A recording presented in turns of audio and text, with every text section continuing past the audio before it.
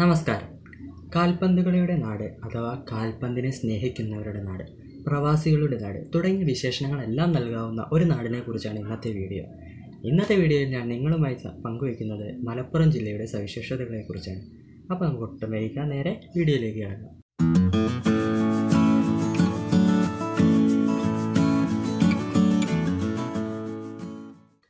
ആയിരത്തി തൊള്ളായിരത്തി അറുപത്തി ഒമ്പത് ജൂൺ പതിനാറിന് രൂപീകരിച്ചൊരു ജില്ലയാണ് മലപ്പുറം ജില്ല. ഈ മലപ്പുറം ജില്ലയ്ക്ക് കാൽപന്തുകളിയുടെ നാട് എന്നൊരു വിശേഷണം കൈവന്നിട്ടുണ്ട്. മറ്റൊന്നും കൊണ്ടല്ല കുട്ടികൾ മുതൽ മുതിർന്നവർ വരെ സ്നേഹിക്കുന്നത് കാൽപന്തിനെയാണ് അതായത് ഫുട്ബോളിനെയാണ്. മലപ്പുറം ജില്ലയിൽ നിന്ന് ഒട്ടനവധി പേർ തന്നെ ഈ ഫുട്ബോൾ കളിയിൽ വലിയ വലിയ നിലകളിൽ എത്തിയിട്ടുണ്ട് അത് മാത്രമല്ല എല്ലാവരും സ്നേഹിക്കുന്നത് അവരുടെ കുടുംബത്തിന്റെ ഒരു ഭാഗം തന്നെ ഫുട്ബോളാണ് എന്നതാണ് മലപ്പുറം ജില്ലക്കാരുടെ പ്രത്യേകത. അതുകൊണ്ട് തന്നെയാണ് കാൽപന്ത് കളിയുടെ നാടെന്നും കാൽപന്തിനെ സ്നേഹിക്കുന്നവരുടെ നാടെന്നും മലപ്പുറം ജില്ലയെ വിശേഷിപ്പിക്കാമെന്ന് ഞാൻ പറഞ്ഞത്. ഇനി പ്രവാസികളുടെ നാടെന്ന് പറയാൻ കാരണം എന്താണെന്ന് അറിയാമോ? കേരളത്തിലെ എൺപത് ശതമാനം ഗൾഫ് മേഖലയിലുള്ള പ്രവാസികളും മലപ്പുറം ജില്ലയിൽ നിന്നാണെന്നാണ്. മറ്റൊരു രീതിയിൽ പറഞ്ഞാൽ കേരളത്തിലെ കൂടുതൽ പ്രവാസികൾ മലപ്പുറം ജില്ലയിൽ ജനിച്ചു വളർന്നിട്ടുള്ളവരാണ്. അതുകൊണ്ട് തന്നെയാണ് മലപ്പുറം ജില്ലയെ പ്രവാസികളുടെ നാട് എന്നും ഞാൻ വിശേഷിപ്പിച്ചത്. ഇനി മലപ്പുറം ജില്ലയെ നമുക്ക് ചില സ്ഥലങ്ങളുടെ പ്രത്യേകതകൾ എന്തൊക്കെയാണെന്ന് നോക്കാം. മലപ്പുറം ജില്ലയിൽ അങ്ങനെ ഒരുപാട് സ്ഥലങ്ങളുണ്ട്. ഓരോ ചരിത്ര പ്രാധാന്യവും അല്ലെങ്കിൽ വിനോദസഞ്ചാരികൾക്ക് ആകർഷകമായിട്ടുള്ള പ്രാധാന്യവും ഉള്ളത്. അത് ഏതൊക്കെയാണെന്ന് നമുക്ക് ഓരോന്നായിട്ട് നോക്കാം. ആദ്യം തന്നെ തിരൂർ എന്ന പ്രദേശം.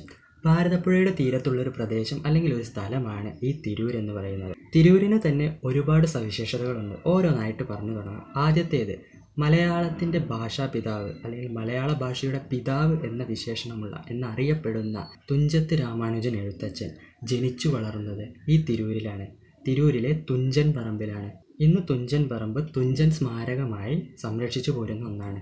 എല്ലാ വർഷവും വിദ്യാരംഭ ദിനത്തിൽ ചെറിയ കുട്ടികളുടെ എഴുത്തിനിരുത്തലും വിദ്യാരംഭം എല്ലാം നടത്തുന്ന എല്ലാം നടത്തുന്നതിൽ പ്രസിദ്ധി ആർജിച്ച ഒരു സ്ഥലമാണ് ഈ തുഞ്ചൻ പറമ്പ്.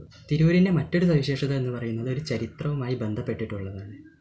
വാഗൺ ട്രാജഡി ദുരന്തത്തിന്റെ സ്മാരകം തിരൂരിലാണ് സ്ഥിതി ചെയ്യുന്നത്. എന്തുകൊണ്ട് തിരൂരിൽ അത് സ്ഥിതി ചെയ്യുന്നു എന്നതും അതുപോലെ വാഗൺ ട്രാജഡി ദുരന്തം എന്താണെന്ന് അറിയാത്തവർക്കും വേണ്ടി ഞാൻ പറഞ്ഞുതരാം. ആയിരത്തി തൊള്ളായിരത്തി ഇരുപത്തി ഒന്നിന് ഒരു സംഭവം ഉണ്ടായി. ബ്രിട്ടീഷ് ആധിപത്യത്തിനെതിരെ മലപ്പുറം ജില്ലയിലെ മുസ്ലിം യുവാക്കൾ എല്ലാവരും ചേർന്ന് അവർക്കെതിരെ പ്രക്ഷോഭം ഉയർത്തി. അതിനെ മാപ്പിള ലഹള എന്ന് പറഞ്ഞു വിളിക്കുന്നു. മാപ്പിള ലഹള എന്ന പേരിലാണ് അത് അറിയപ്പെട്ടിരുന്നത്. ഈ മാപ്പിള ലഹളയോടനുബന്ധിച്ച് ഏകദേശം നൂറോളം പേരെ ബ്രിട്ടീഷ് അധികാരികൾ അറസ്റ്റ് ചെയ്തു. തിരൂരിൽ അറസ്റ്റ് ചെയ്ത ഈ നൂറോളം യുവാക്കളെ കോയമ്പത്തൂരിലേക്ക് കടത്തുന്നതിന് വേണ്ടി അവർ ഒരു ഗുഡ്സ് ട്രെയിനിൽ കുത്തി നിറച്ചുകൊണ്ടാണ് പൈശാചികമായാണ് അവരെ കടത്തിവിട്ടത്. അതിന്റെ ഭാഗമായി ഏകദേശം അറുപത്തിനാലോളം പേർ ശ്വാസം മുട്ടി മരിക്കുകയാണ് ഉണ്ടായത്. ഈ ഒരു ദുരന്തത്തിന്റെ ഓർമ്മയ്ക്കായിട്ടാണ് തിരൂരിൽ ഈ ഒരു വാഗൺ ട്രാജഡി സ്മാരകം സ്ഥാപിച്ചിട്ടുള്ളത്. ഇന്ത്യൻ സ്വാതന്ത്ര്യ സമര ചരിത്രത്തിലെ തന്നെ ഒരു കറുത്ത ഏടായിട്ട് ഈ വാഗൺ ട്രാജഡി ദുരന്തത്തെ നമുക്ക് കാണാവുന്നതാണ്. കേരളത്തിലെ ആദ്യത്തെ റെയിൽ ബ്രിട്ടീഷ് ആധിപത്യത്തിന്റെ സമയത്ത് ബ്രിട്ടീഷുകാർ തിരൂരിൽ നിന്ന് ബേപ്പൂര് വരെ നിർമ്മിച്ച റെയിലായിരുന്നു. ആയിരത്തി എണ്ണൂറ്റി അറുപത്തി ഒന്നിലാണ് അവർ ഈ ഒരു റെയിൽപാത നിർമ്മിച്ചത്. കേരളത്തിലെ ആദ്യത്തെ മലയാള സർവകലാശാല തിരൂരിലാണ് സ്ഥാപിതമായത് എന്നും തന്നെ തിരൂരിന്റെയും മലപ്പുറത്തിന്റെയും മറ്റൊരു സവിശേഷത കൂടിയാണ്. തിരൂരിൽ നിന്ന് നമുക്ക് മലപ്പുറം ജില്ലയുടെ മറ്റൊരു സ്ഥലത്തേക്ക് പോകാം. നിലമ്പൂർ എന്ന സ്ഥലം. തേക്ക് മ്യൂസിയങ്ങളാൽ പ്രസിദ്ധമായ സ്ഥലം. ലോകത്തിലെ തന്നെ ഏറ്റവും പഴക്കമേറിയതും ഏറ്റവും ആദ്യത്തേതുമായ തേക്ക് മ്യൂസിയം സ്ഥിതി ചെയ്യുന്നത് ഈ നിലമ്പൂരാണ്. എന്നാൽ നിലമ്പൂർ തേക്ക് മ്യൂസിയത്തെക്കുറിച്ച് നമ്മൾ പറയുന്നതിന് മുമ്പ് മറ്റൊരു സ്ഥലത്തേക്ക് നമ്മൾ പോകേണ്ടതുണ്ട്. നിലമ്പൂരിൽ നിന്ന് കുറച്ച് അകലെ സ്ഥിതി ചെയ്യുന്ന കനോലി പ്ലോട്ട്. ആദ്യത്തെ ലോകത്തിലെ ചരിത്രത്തിലെ തന്നെ ആദ്യത്തെ മനുഷ്യനിർമ്മിത പ്ലോട്ടാണിത്. അന്നത്തെ കളക്ടറായിരുന്ന എച്ച് വി കനോലിയാണ് ഈ ഒരു പ്ലോട്ടിന്റെ നിർമ്മാണത്തിന് നേതൃത്വം നൽകിയത്. ഈ കനോലി പ്ലോട്ട് ആയിരത്തി തൊള്ളായിരത്തി തൊണ്ണൂറ്റി അഞ്ചിൽ കേരള ഫോറസ്റ്റ് റിസർച്ച് ഇൻസ്റ്റിറ്റ്യൂട്ട് ഏറ്റെടുക്കുകയും അതിനുശേഷം തേക്ക് മ്യൂസിയം ഉണ്ടാവുകയും ചെയ്തു.